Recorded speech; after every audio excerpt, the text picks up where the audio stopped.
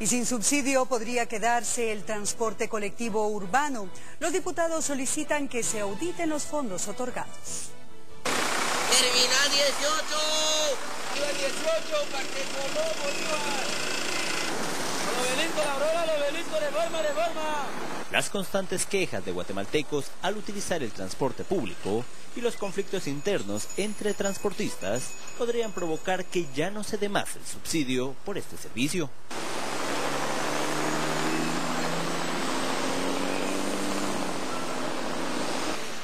Diputados consideran que se incumple con el objetivo establecido.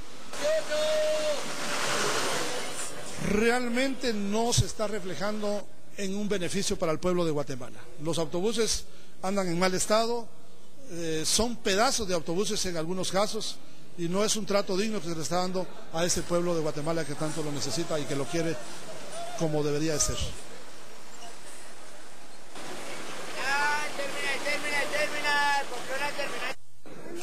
Por ello, la Comisión de Transparencia del Congreso pidió oficialmente a Contraloría una auditoría que establezca si los 48 millones de quetzales dados son bien utilizados.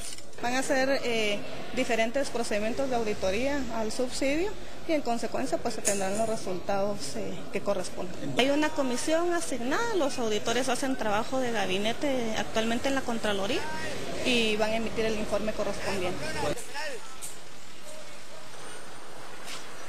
Dependiendo de estos resultados, a futuro se podría determinar si las más de 400 unidades continuarán recibiendo el cuestionado subsidio. Por el respeto a la vida, Telediario, Información Actual.